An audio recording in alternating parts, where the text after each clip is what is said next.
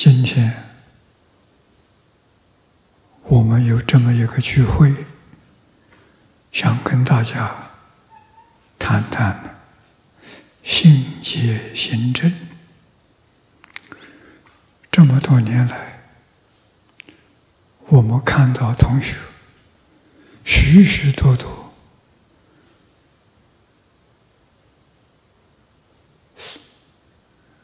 这四个字都有问题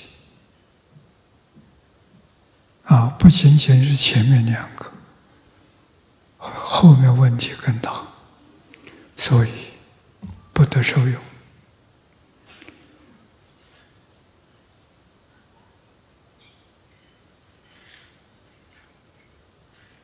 其中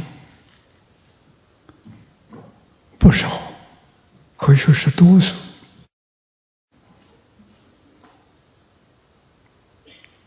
我们这讲经教学六十年了，不但道业没有进步，而且逐渐的退步，最后退到三途，你是多么冤枉！啊，为什么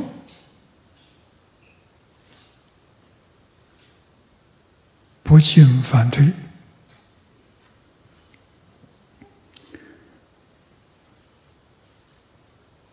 我想，初心难发，大家的初发心都不是真心，儿戏的心。所以造成这么样的一个结果。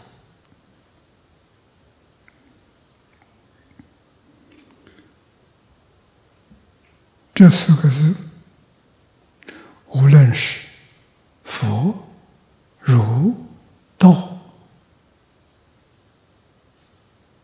都用得上。啊，信心难呐。很难建立呀，而真心、信心不真呢，后面不会有进步。我在年轻的时候，借引我一位老先生，啊，是我的长辈了。朱金洲老居士，在座的也许有人知道，啊，这位老先生是章太炎的小女婿。章太炎最小的女儿，那个时候还是。父母做主，媒妁之言，在那个时代，啊，也就是章太炎选的小女婿，啊，朱金洲，我跟我们在一起，他已经有七十岁了，啊，我们称他老居士。他告诉我。章太炎的故事很多，特别是因果的故事。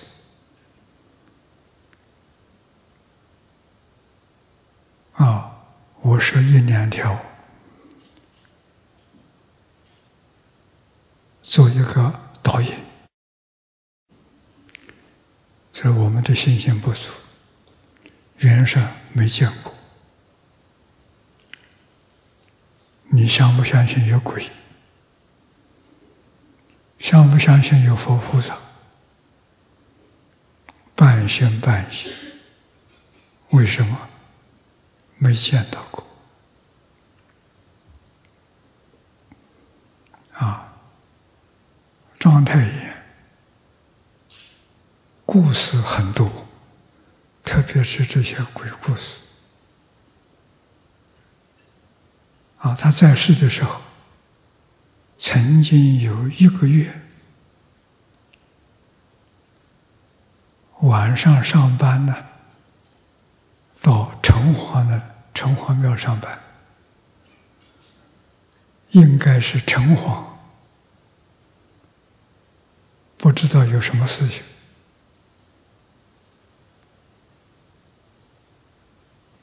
不能上班，请他代替，所以他做一个月的代替城隍，东岳大帝。比一般城隍地位还要高，啊！一般城隍像县市长一样，东岳大帝那是神主席了，啊，比县要高一级了。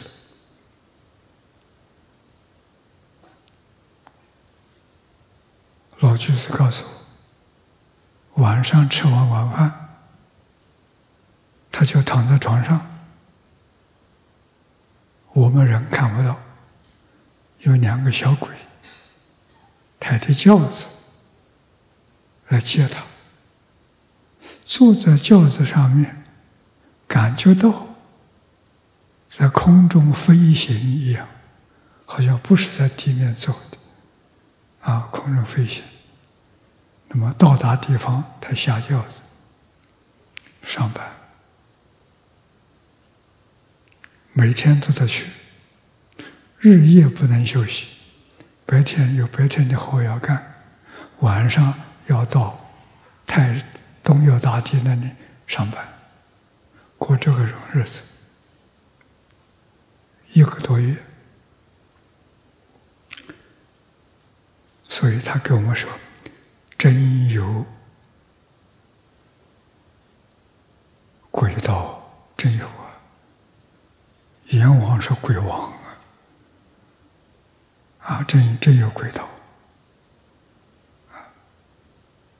有一次，他忽然想到，地狱里头炮烙的刑法，铁柱柱子，铜墙铁柱，烧红，让受罪的人去抱，啊，去抱个住住，那身体整个都焦了。这个不人道啊，太残酷了。他向东岳大帝建议，能不能把它废除？东岳大帝就叫两个小鬼带他去看，你先到刑场去看，回来再说话。啊小鬼带他到刑场，告诉他到了，他什么都看不到，没有看见。他忽然想到了，这种血地狱的刑法，是你业力变现出来的，本来没有，所以你没有造这个罪业，你看都看不到。哦。这才晓得，造业自作自受，没人能代替。阎王想赦你都没办法。啊，这叫信心。你相不相信有地狱？去过地狱的人真信，没有去过的人不是真心。是道听途说啊，那么他自己，朱金洲老师自己，跟章太炎生活在一起时间很长，传。老人的学说啊，也成为一代宗师。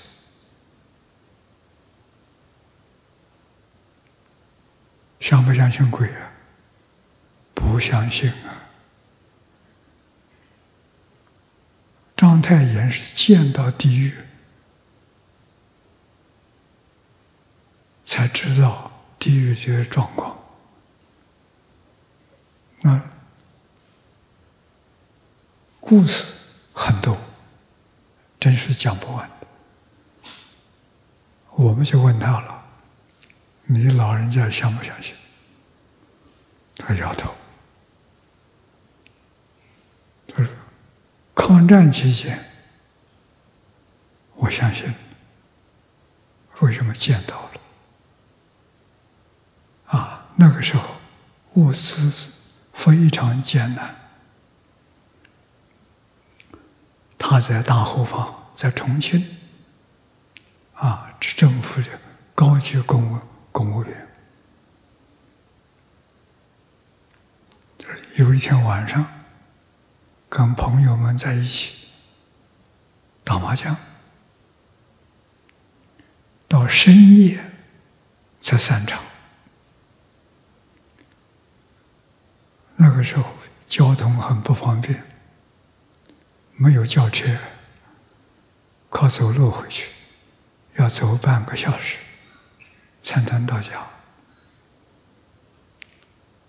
啊，也没有在意，就出来了，走了，走了很久，大概有半个小时。前面有个人，是个妇女。这样的深夜，怎么会单独一个女子走到这个街头上来？他心里这么一想啊，两个腿都发软了。他真的遇到了，他遇到鬼了。仔细看一下，前面这个人有上身，两只脚看不见，这证明真的遇到鬼了，是个女鬼。没地方躲藏啊，硬着头皮跟着走啊。他在前面，他在后面呢，啊，在走了一二十分钟，忽然不见。他说：“我才真正相信有鬼，才真相信，没有见到不相信，真正自己见到才相信。”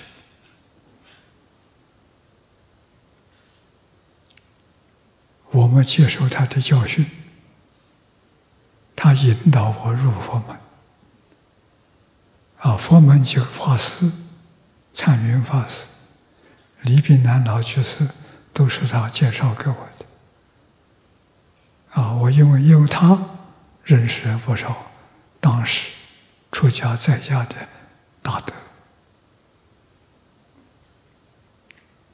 心难呐，哪有那么容易啊？我入佛门，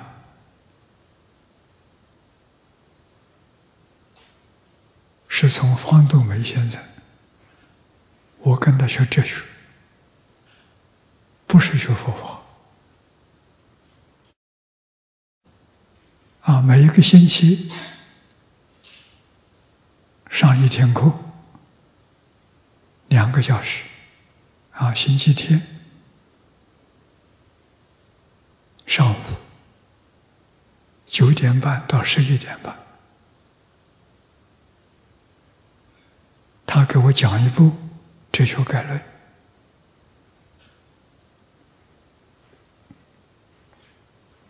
原本我那时候写一封信给他，仰慕他，他是台大哲学系的系主任，判一点同乡的关系。他是同城，我是庐江，啊，住一个小镇，金牛镇，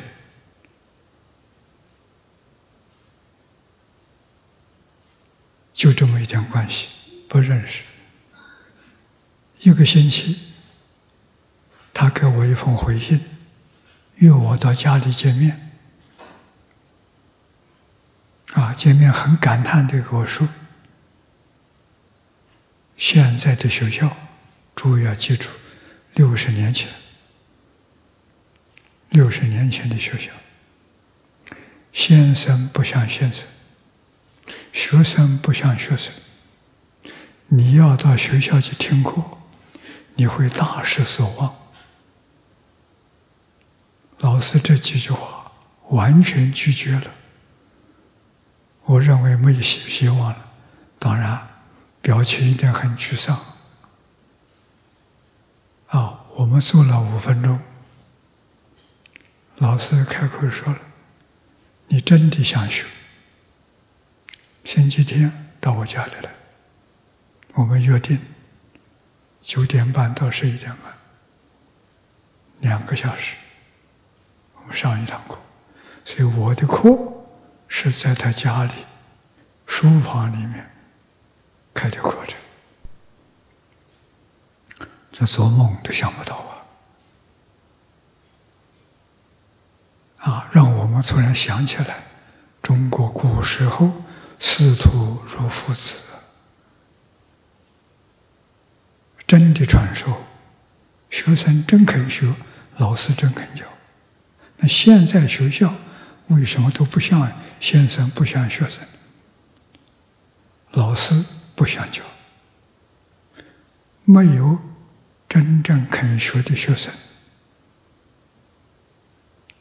学生也没办法真想学，所以学生是为文凭，老师是为薪水，要吃饭，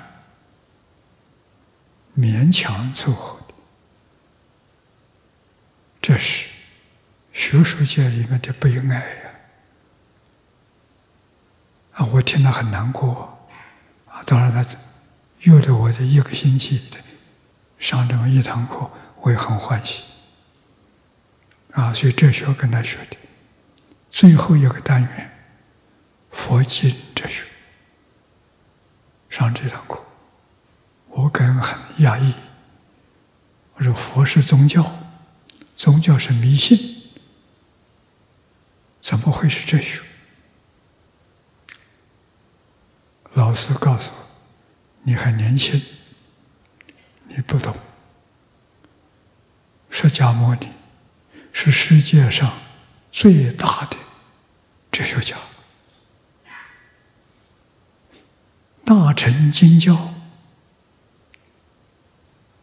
是哲学的最高峰。”学佛是人生最高的享受，这句话我很动听。人生最高的享受，我要啊！啊，我们这一堂课半年的时间圆满了，圆满我认识张家大师，这是佛专攻佛学，真正有修行。有德行的一个老师，我就跟进他。第一天见面，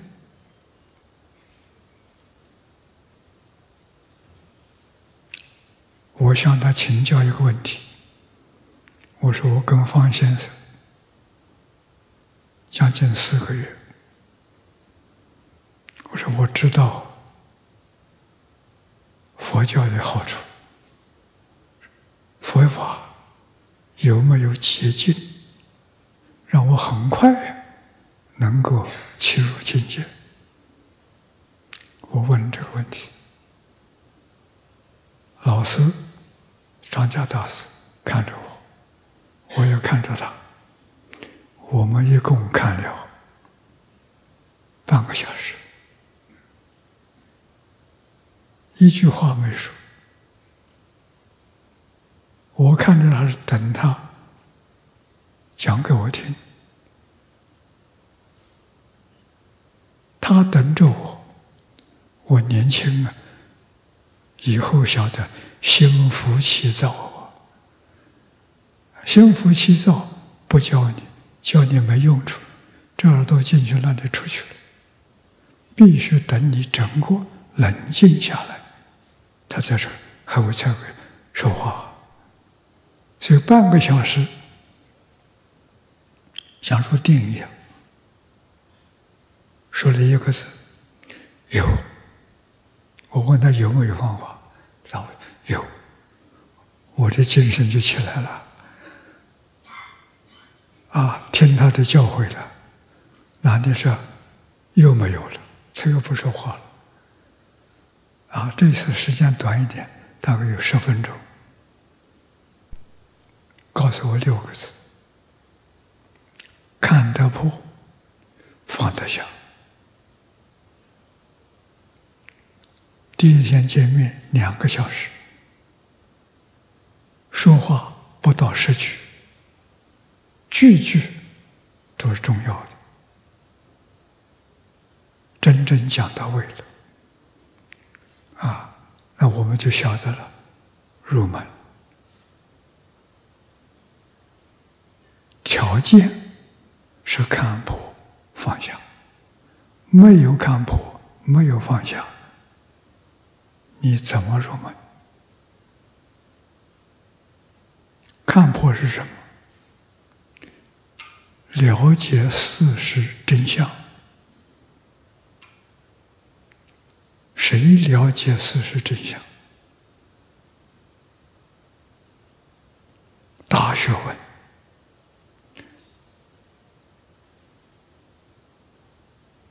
才能做到啊！能看破事实真相，真心就出来了。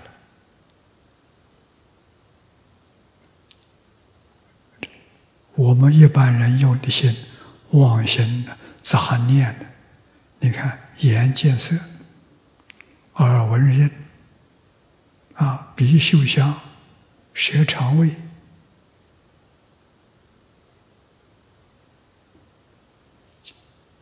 根尘接触，起心动念，妄想分别执着，全起来了。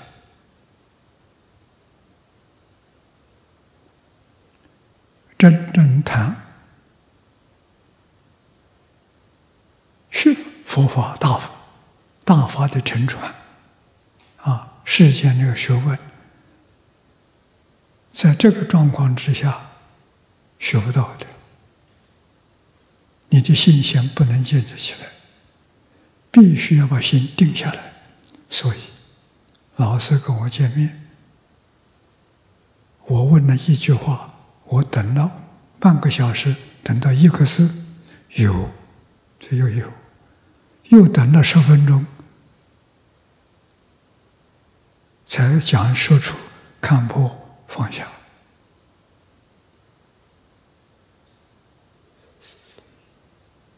这个要真有耐心啊！不是真有耐心的话，学生走了，不跟你学了，架子这么大。啊，所以像信心之难建立。老师以后我明白了，老师为什么等着我？一定要整个人静下来，不起心，不动念，不分别，不执着，没有杂念，没有妄想。这个时候来告诉你真东西。你一生一辈子不会忘记，真的受用。所以信心好难呐，没有信心，老师不教你。我们跟他见面，他心是定的、静的，我们的心是心浮气躁，心浮气躁不教，一定要等你整个心情。静下来，再跟你说话。啊，静下来了，可以跟你说话了。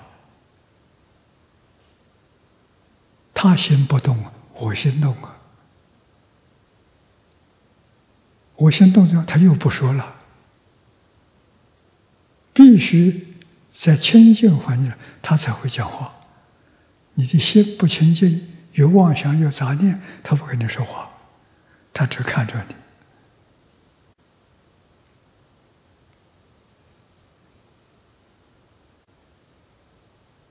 所以我们讲信不容易。你要遇到真正好的老师，像张家。啊、李老师，都不是平常人，都是真正开悟的大德。信心建立，永远不退。我这一生，既然有这么一个缘分，我就要抓住，在这一生当中成就。成就什么？成就往生。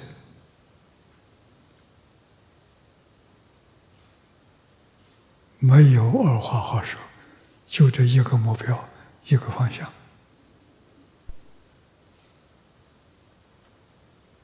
机缘不容易，机会缘分得到太难了。啊，学佛之后是有了信了，要解，解什么？研究经教，然后依经教来修行。修是修正，修理；行是行为。要记住啊！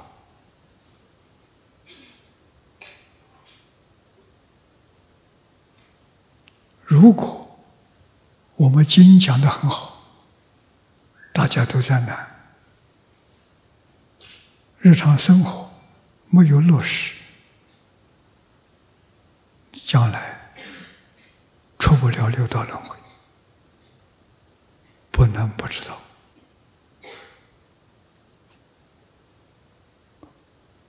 世出世间一切法，最可贵的就是超越六道轮回。佛有办法教给我们，而且讲得很清楚，有八万四千法门，门门都是解脱，门门都能帮助我们超越。啊！但是我们自己要晓得，老师佛陀。有方法帮助我们，我们这一生有没有把握往生？没有把握就很难。啊，没有把握自己怀疑，我去不了啊。要有决定性的把握，决定能往生，这就得受用啊，那要怎么做呢？至少像佛菩萨一样，贪嗔痴慢疑这五个根本烦恼要断干净。没有，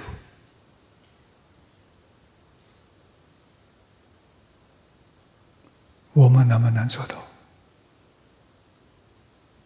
做不到。为什么做不到？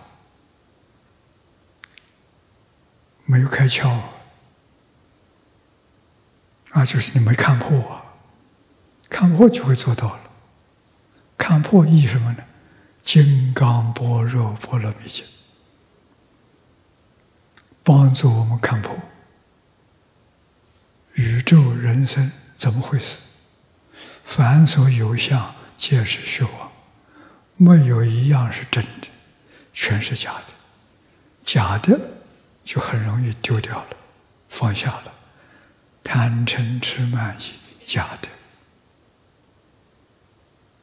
啊，这是根，烦恼的根，所有烦恼都从它引起来的，所以你必须看破，你才能放下。你没看破，怎么能放下？眼见色，就起心动念，就分别执着。啊，就落在七情五欲，造业了，那不是修行，那是造业。所以一定要看破，《金刚经》上讲的话，句句真实。啊，凡所有相，皆是虚妄。怎么个虚妄？我看到在面前真的，怎么会虚妄？佛在经典上教我们，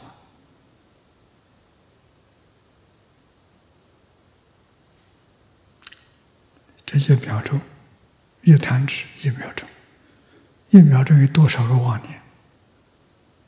一切法从哪来？从妄想来的。你要没有妄想，这一切现象全都没有了。只要有现象存在，就是你有妄想，你有分别，你有执着。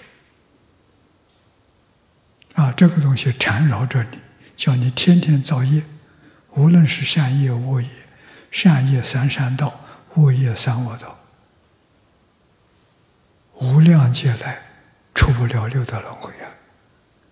这很可怕啊！那佛告诉我们，这一弹指有多少个生灭？就是现象，有生有灭，再生再灭。一个接着一个，像我们看电影，以前的电影胶卷，你容易想到的，啊，一一片一片，一秒钟二十四片，二十四张，就是一秒钟二十四次，我们看荧幕上播出来，啊，好像他真的在动作，其实假的。佛告诉我们：我们整个的宇宙现前，大宇宙，小的是我们的日常生活。一秒钟多少张底片换了多少次了？一秒钟三十二亿，不是万的，三十二亿后头八千。一百个千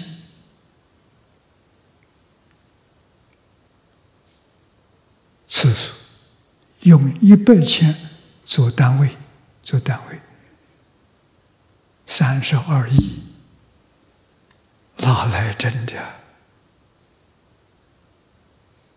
啊！这今天量子力学家给我们证明了，对我们学佛的人，这观想很大的帮助。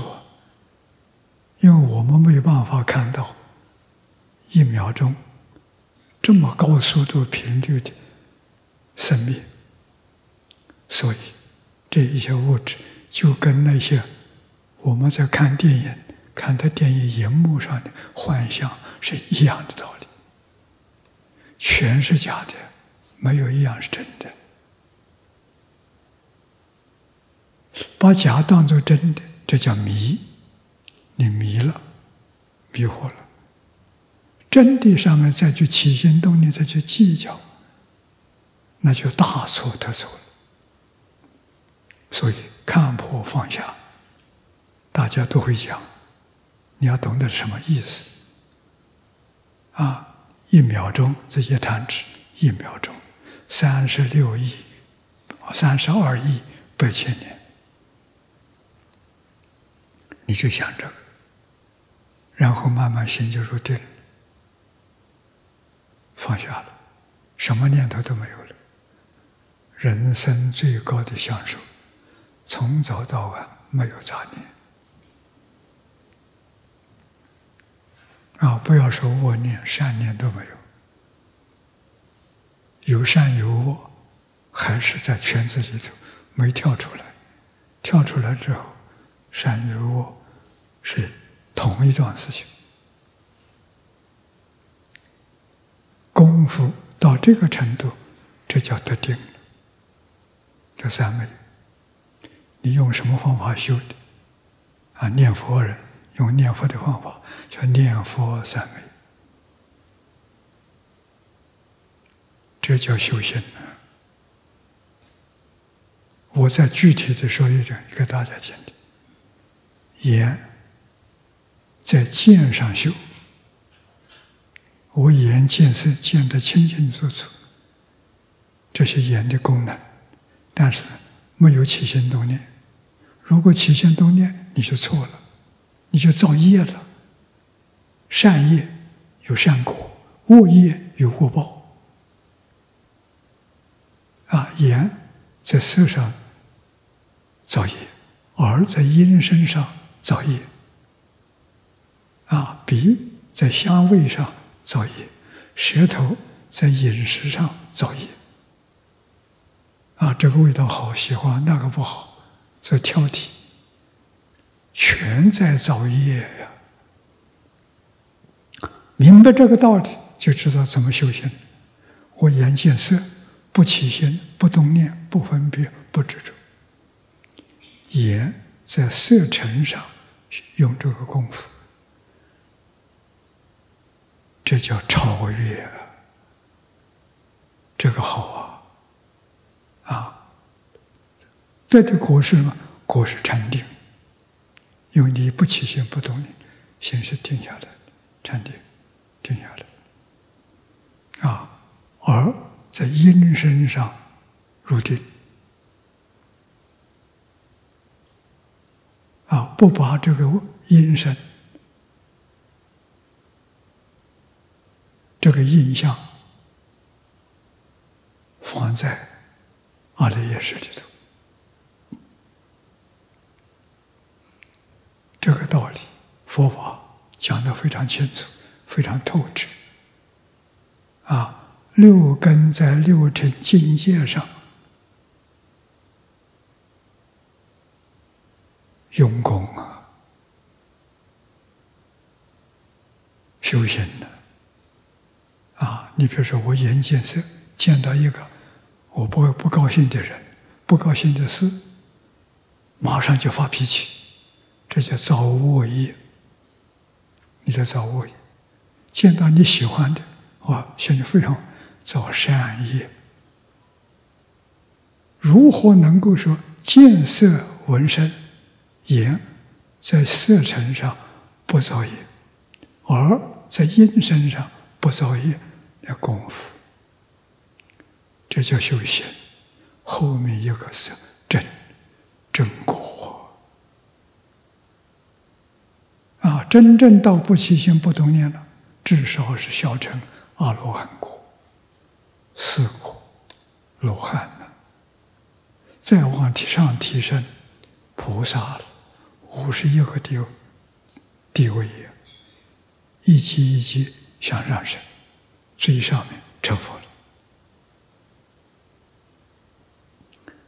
学佛从这里学，信解行证是一回事，四个阶段。必须都要通过真修行，不要被外面境界骗了，全是假的。他来引诱你，引诱你发脾气，引诱你心里结于怨恨，他引诱你到无间地狱。你可别上当，你要上当就错了。啊，应该怎么？假象如如不动，这就叫修行。啊，行要独立，要超越。啊，信，真心，真正相信佛，一生不会说一句话谎话。凡是佛是真语者、实语者、不妄语者，我们要相信他。我们做不到，他做到了。所以他能成佛成菩萨，我们修行学佛几十年了，还这个圈子还没有越过，还在里面打转。明白了，惭愧，赶紧回头，这就对了。啊，无论。佛家八万四千法门，其他所有宗教都要从这里修行。啊，这一次联合国给我一个办公室，我这两天就要去上班了。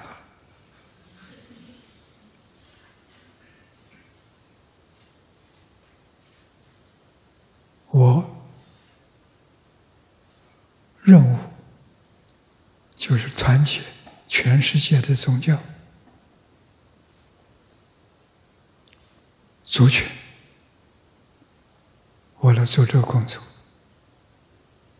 啊，所以我先找理论依据，